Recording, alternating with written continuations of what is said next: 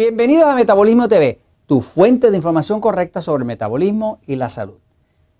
Movimiento externo, movimiento interno. Y ahora vamos en la segunda parte donde vamos a estar hablando del movimiento interno. En el, yo soy Frank Suárez, especialista en obesidad y metabolismo. En el episodio anterior estaba hablando del ejercicio, que es el movimiento externo. Ahora quiero hablarles del movimiento interno. el episodio anterior estaba hablando de todos los factores, la secuencia, el gradiente que hace falta para que el ejercicio sea exitoso. Muchas personas empiezan eh, planes de ejercicio, se meten a un gimnasio, pagan la membresía y votan el dinero. Y votan el dinero a la lana, como le dicen en México, o, los pesos, porque eh, se, lo hacen fuera de gradiente. Eh, pretenden que el cuerpo haga una cosa que no está listo para hacer. Así que en la vida uno tiene primero que prepararse y planificar, y ir preparando, ir subiendo en gradiente en la secuencia correcta para entonces llegar y tener éxito en lo que sea. Ahora, quiero hablarle ahora de la otra parte. Eh, el tema del metabolismo, voy a la un momentito para explicar esta parte que tiene que ver con el movimiento interno. Fíjense, la palabra eh, metabolismo, metabolismo, metabolismo es una palabra, esto es el dibujo anterior.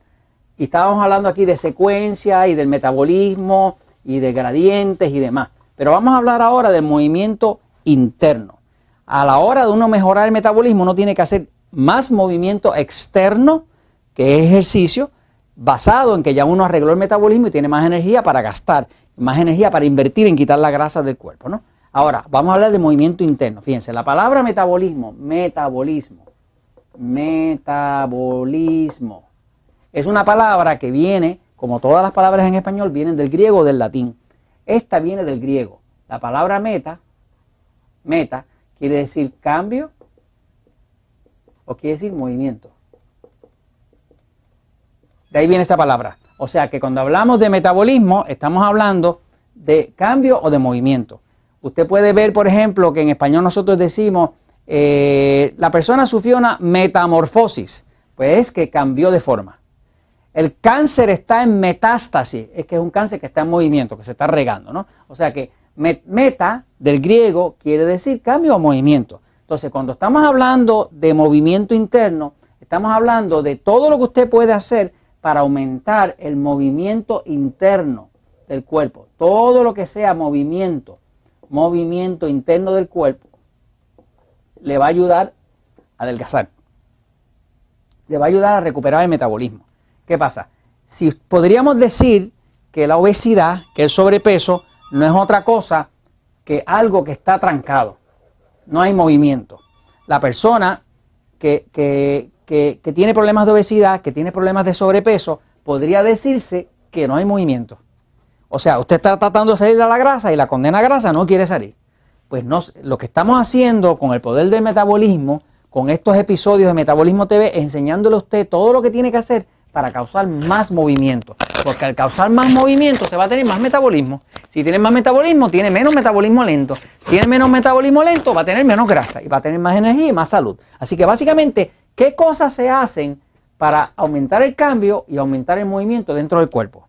Internas. Pues lo primero que se hace es que hay que aumentar el consumo de agua. Vital. Cada vez que usted consume agua, usted está obligando un movimiento. ¿Por qué? Porque esa agua entra y tiene que salir.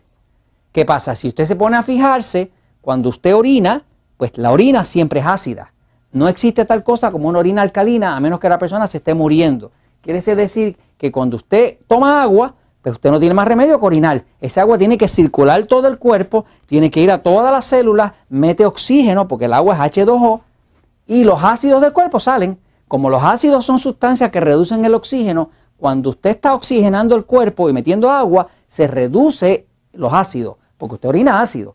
Y si se reducen los ácidos, aumenta el oxígeno. Por eso es que una persona, nada más que con empezar a tomar suficiente agua, empieza a adelgazar, aunque se coma la misma barbaridad de siempre. Así que lo primero es el agua. ¿Cuánta agua? Pues hemos dicho que usted toma el peso de su cuerpo. Si usted lo mide en libras, pues lo divide por 16. Si usted lo mide por kilos, en kilogramos, este aquí sería en libras, pues lo divide por el número 7 y saca, con esta fórmula saca cuántos vasos de agua le tocan al día. Por ejemplo, una persona que pese 160 libras, lo divide por 16, le tocan 10 vasos. 10 vasos de 8 onzas. Una persona que pese 70 kilogramos, lo divide por 7, le tocan 10 vasos. Y son otra vez 10 vasos de 250 mililitros, que es lo mismo que 8 onzas. Pero de todas maneras, el agua lo que hace es, además de que mete oxígeno, causa movimiento, causa movimiento y causa movimiento. Mientras más movimiento haya, pues más rápido está del gas y más metabolismo hay. Así que estamos hablando ahora de movimiento interno. ¿Qué otra cosa se hace? Bueno, lo otro que se hace es que uno hace la dieta correcta. La dieta correcta es la dieta correcta para su tipo de sistema nervioso.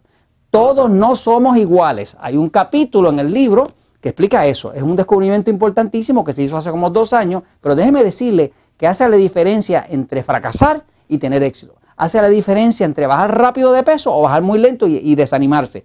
Así que usted tiene que saber si su sistema nervioso es pasivo o es excitado. ¿Cómo lo sabe? Véase el capítulo número 199 de Metabolismo TV. Tiene cinco preguntas y si usted contesta que sí a cualquiera de las cinco preguntas, usted tiene un sistema nervioso excitado. Y si contesta que no a las cinco, pues usted tiene un sistema nervioso pasivo como yo. Por ejemplo, mi esposa lo tiene excitado y yo tengo un sistema nervioso pasivo. Eso quiere decir que la dieta para los dos no puede ser igual. Por ejemplo, la dieta para uno es más carnívora, la otra, la otra necesita más vegetales, uno puede comer grasa, el otro no, debe comer mucha grasa, uno no tolera la sal, el otro retiene líquido y cosas de ese tipo de cosas. Así que importantísimo que usted vea ese capítulo 199 y sepa cuál es la dieta correcta. ¿Dieta correcta para qué? Para causar un movimiento óptimo, rápido, dentro de su sistema. Cuando usted come lo que no es, usted está trancando el flujo, está trancando, no está dejando que fluyan los alimentos porque el sistema de cada uno procesa las cosas distinto, dependiendo si es pasivo o excitado el sistema nervioso. Así que esa es la dieta correcta que lo sabe viendo el episodio número 199. Próxima cosa, la eliminación. La eliminación es vital. Por ejemplo, si usted tiene un problema de estreñimiento, pues ¿qué es el problema de estreñimiento? Otra vez un tranque un problema donde los tóxicos del cuerpo, los desechos del cuerpo no pueden salir. Pues hay que manejar la eliminación. Los que más tienen problemas de eliminación son los que tienen sistema nervioso excitado, mucho más que los que tienen sistema nervioso pasivo. Hay que usar eh, suplementos como el magnesio, por ejemplo, nosotros usamos esto, el Magic Mac. Magic Mac es medio milagroso, es un tipo de magnesio especial que se llama citrato de magnesio, que es muy absorbible al cuerpo, mucho mejor que lo que venden en los, sitios de estos de, de naturismo y cosas de esas, que es óxido de magnesio que es el, magnesio más barato, pero que desgraciadamente lo único que hace es que causa diarrea. No sirve bien para la absorción, o sea, como para que haya un movimiento intestinal adecuado. Pero el punto es que todo lo que usted haya para mejorar su eliminación, que quiere decir que pueda ir bien al baño, tomando magnesio, usando, hay suplementos que nosotros usamos como el Constipen, que es un, suplemento para mover el intestino y, y restablecer el movimiento normal. Si no tiene buena eliminación, no hay movimiento. Todo lo que para el movimiento interno le va a producir obesidad. Todo lo que ayude a ver más movimiento interno le va a ayudar a adelgazar. Así que estos son los puntos para mirar. Usted va a mirar cuánta agua que tiene que poner, la dieta correcta y vigilar muy bien su eliminación. Si usted hace ejercicio levantando la energía, que es el movimiento externo, y también vigila su movimiento interno, usted tiene un éxito asegurado. Y esto se los comparto porque la verdad siempre triunfa.